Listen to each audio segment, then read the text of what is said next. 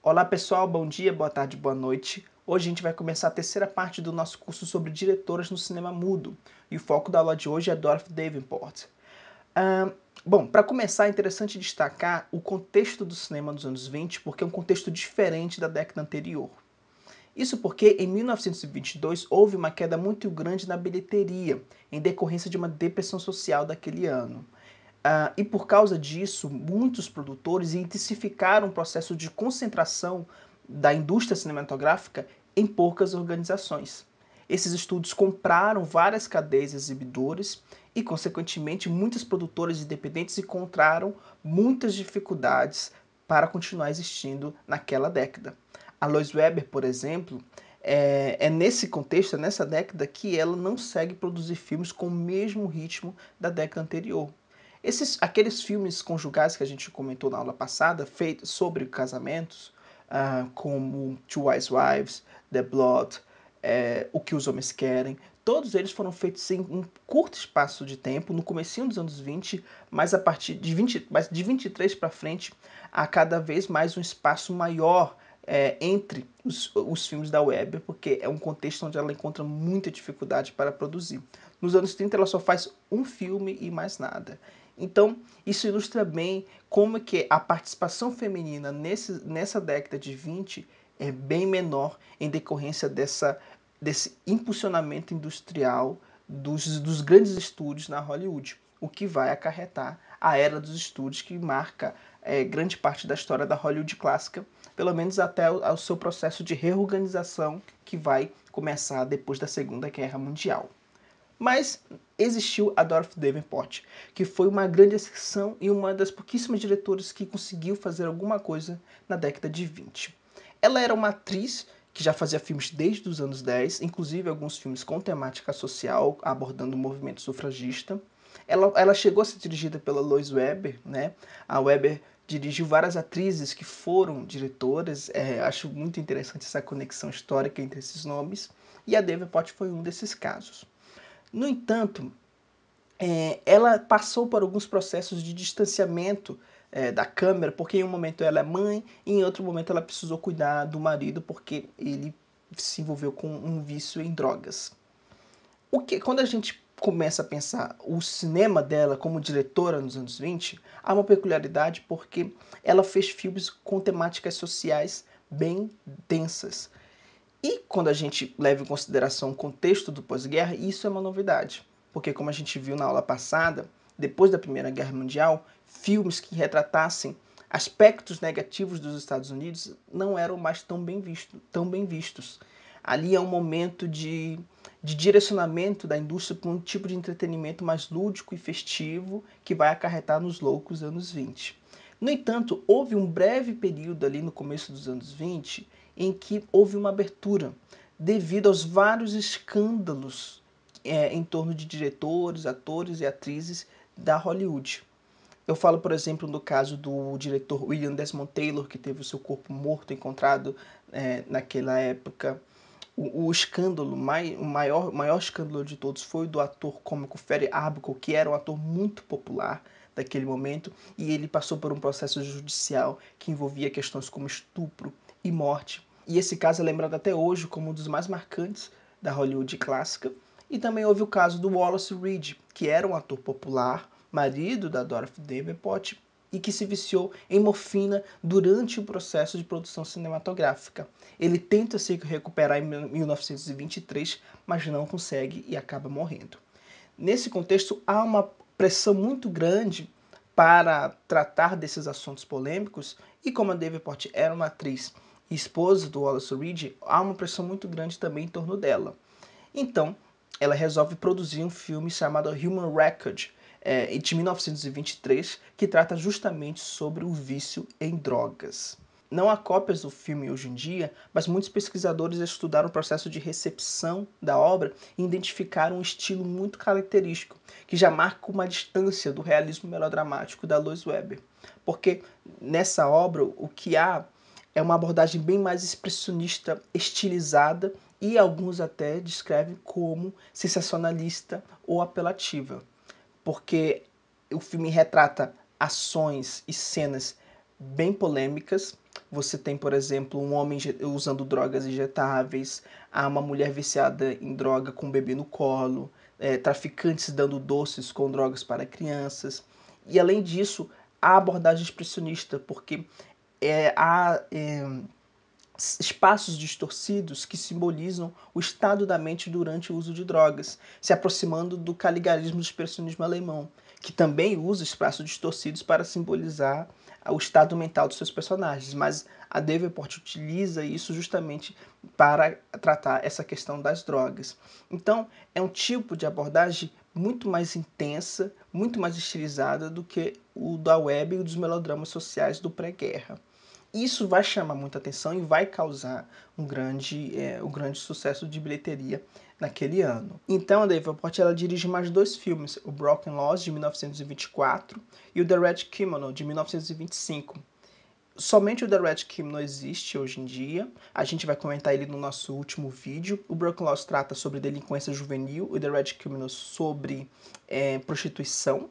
Então ela segue tratando de temas sociais e muitas vezes com esse estilo é, mais, mais, mais, mais intenso, que alguns até caracterizam como uma espécie de precursor do exploitation, que é esse cinema de baixo orçamento, com, a, com uma abordagem um pouco mais apelativa de temas polêmicos e que vai se notabilizar principalmente a partir dos anos 30, 40, mas muitos colocam a Davenport como uma grande precursora. No entanto, é, esses dois primeiros filmes elas não são existentes. O que a gente, o que eu quero destacar hoje também é o último filme que ela faz no cinema silencioso, que é o Linda, porque apesar de não ser, de não ser tão conhecido como essa trilogia que ela faz é, anteriormente, eu acho que ele traz questões bem inovadoras e diferentes para aquele contexto. Bom, quando a gente começa a ver Linda, o filme parece que vai seguir um caminho melodramático um pouco mais convencional, porque a protagonista é essa jovem sonhadora e humilde, a Linda, que vive num ambiente bucólico muito bonito visualmente, mas que é muito opressor ela, a família dela é uma família pobre e o pai é uma figura bêbada que bate na mãe.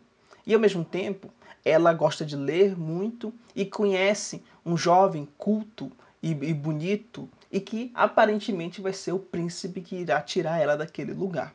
De fato, no final do filme, ela não está mais, mais naquele espaço e fica com o príncipe. No entanto, o caminho, o desenvolvimento que ela passa até chegar a esse final é muito diferente e tem vários desvios e quebra muitas expectativas.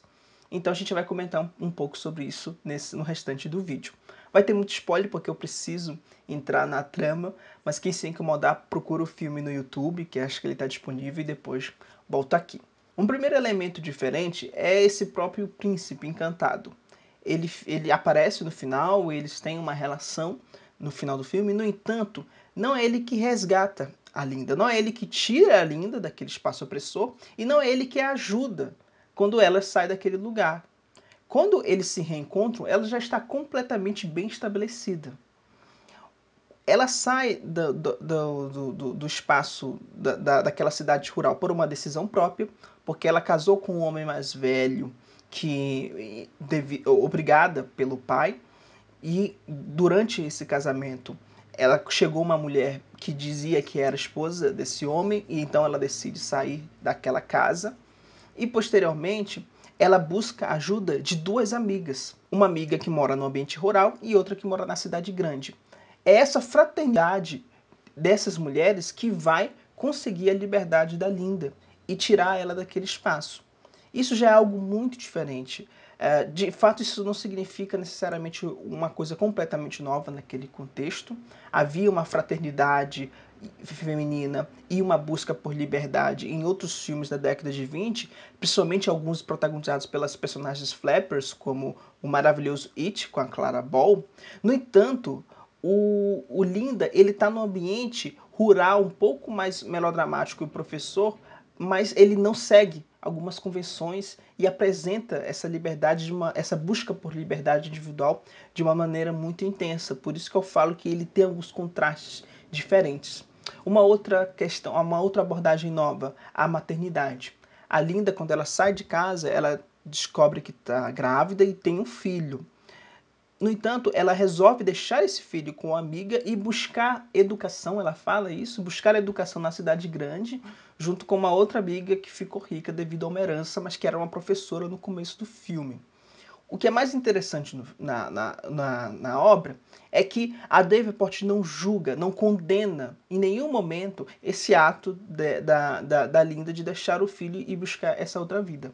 A Linda ela tem uma vida como esposa, ela tem uma vida como mãe, mas ela também tem várias outras é, camadas e várias outras possibilidades de vida que não se limitam a essas duas esferas. E na verdade não a anulam, porque é, posteriormente ela chega a comentar com a amiga que ela também quer educação para ser uma, uma mãe melhor. Então tudo se articula mas ao mesmo tempo, quando ela tem essa outra vida na cidade grande, ela, ela também é interpelada por um outro por um outro pretendente, ela também se diverte, conhece outras pessoas. Então, é uma outra possibilidade de vida, não mais limitada somente a uma esfera específica. Isso, novamente, é algo assim que me parece muito inovador. Em termos de mise-en-scène, eu gosto muito do final, porque a, a, a Linda ela volta para casa e, e para casa para casa do seu marido e dentro dessa casa a gente consegue ver dois estados é, é, diferentes, subjetivos diferentes convivendo no mesmo local. De um lado você tem a Linda é, triste e decepcionada porque voltou a uma vida que ela não queria, que é essa vida doméstica, e do outro você tem o marido percebendo que a Linda está amando uma outra pessoa. E aqui a própria relação entre esses dois é uma relação desenvolvida de maneira um pouco diferente. Porque apesar do marido ser uma pessoa bem mais velha, e a própria Linda fala, você tem idade para ser meu pai, ele não é uma figura opressora como o pai dela. Na verdade, no filme inteiro, os dois, eles nunca brigam. Eles não, eles não discutem. Tá? Há mais brigas nos filmes conjugais da, sobre casamento da Weber do que no filme Linda, pensando na relação entre, entre a Linda e, e esse marido mais velho. No entanto, o filme também deixa muito claro por intertítulos e pela, e, e pela mise-en-scène que há um distanciamento total é, em termos amorosos entre os dois. Um intertítulo chega até a falar que o, o marido conquistou o respeito dela, mas não o coração. Eles têm uma certa cordialidade, mas, um, mas não tem um, um, um, laço afetivo amoroso de verdade. Há um distanciamento entre os dois é, na, na forma como ela o chama, porque ela não usa é, termos muito carinhosos, o, o, chama, o chama pelo nome. Eles são distanciados, ela, ele se coloca numa posição acima e ela fica mais inferior e distante dele fazendo outras coisas. E a forma como ela, a Linda, olha para aquele outro jovem culto no começo do filme é completamente diferente da forma como ela olha para o marido. Há um certo coleguismo ali, mas não há amor. Então, de certa forma, esse marido ele não é construído de uma maneira tão vilanesca como o pai dela é construído, é construído naquele filme. Então, isso também mostra uma abordagem relativamente é, é, inovadora. E quando chega no final, o final é o mais impactante de, de tudo, porque o marido ele percebe que ela está amando uma outra pessoa e a própria Linda é, declara isso, afirma isso diretamente. E então ele resolve não tomar o remédio que ele estava que ele tava, né, utilizando para se recuperar e se suicida, pois ele morre no, no dia seguinte. A Linda, ela, ela faz o enterro e inicia um incêndio na casa, na casa do, do, dos dois, e fala que aquilo é para ela fez aquele ato para devolver a casa que o marido dela tanto gostava para ele. E, e é, é, muito impactante esse, corpo da Linda é, pequeno, né? lembrando a Lilia Guiche começando um incêndio ao redor da casa e no final essa casa pegando fogo no fundo. É uma cena muito impactante é, visualmente e dramaticamente. Há essa justificativa, né, comentada, no, no, indicada nos intertítulos, mas eu gosto de fazer uma leitura um pouco mais profunda. Inclusive porque ele, o filme ele dá uma pista para essa leitura em uma coincidência. Quando a Linda retorna, o marido fala que não mudou nada na casa desde que ela saiu. E a Linda, ela não fica nada feliz com isso. Ela tá, ela tá, ela inclusive chega de preto, como se estivesse é, em luto, e de fato é um luto porque a vida intensa e agitada que ela tinha antes morreu. E logo depois, quando ele morre, O intertítulo indica que ela não deixou ninguém entrar na casa e mudar a casa. Então ela queima essa casa no mesmo com uma organização igual à organização que o marido gostava e que ele queria impor a ela e que ela não gostava, porque ela demonstrou uma infelicidade de estar naquele lugar. Então ela queima um espaço que não é somente um espaço, mas é esse lar doméstico para o qual ela não quer voltar nunca mais. Eu acho que o filme até poderia dar uma ênfase nesse gesto de destruição simbólica é, é, é, do lar, talvez indicando um intertítulo, mas há também a questão da cordialidade entre os dois, porque o marido, apesar de fazer parte de uma estrutura opressora, tanto que ele faz um acordo com o pai, apesar de brigar com o pai posteriormente, havia um certo coleguismo entre os dois, havia uma relação de, que não era completamente dicotômica, ainda que houvesse conflito e tristeza. E de fato ele era uma figura que tinha que, que, que fazia parte de um mundo patriarcal. Mas a, por causa dessa cordialidade, talvez o filme não tenha deixado de forma tão clara esse aspecto simbólico da, da, da queima de um lar doméstico e do que ele poderia representar. Mas pegando essa coincidência, né, dessa, dessa coisa do, de como o lar ele não mudou em nada e de como esse lar trazia uma infelicidade, não, não trazia felicidade para a Linda, acho que é muito claro que, que há um certo simbolismo muito intenso dentro daquela obra. A Davenport ela vai fazer mais, mais alguns filmes da década de 30 no período sonora. Ela é uma das pouquíssimas diretoras, talvez a única que conseguiu sair do cinema mudo o sonoro. Só que já nos anos 30 ela faz filmes completamente na indústria B. Não são filmes de grandes estúdios, mainstreams, não são filmes A. E aqui e aí sim é, a conexão dela com o exploitation se torna muito direta, porque ela já está nessa indústria marginalizada de Hollywood mas posteriormente ela não consegue ter uma carreira depois da década de 40. Mas o Linda é um filme assim, muito interessante também, acho que precisa ser visto e comentado como The Red Kimono, que é um filme existente dela, bem conhecido dessa fase, dessa trilogia social que ela fez, dessa trilogia caligarista e social que ela fez anteriormente, e que vai ser um dos focos do nosso próximo vídeo, no qual a gente vai comentar esse filme da David Port e uma outra obra-prima da Lois Weber, que é Os Sapatos. Então é isso, pessoal. Até a próxima. Tchau, tchau.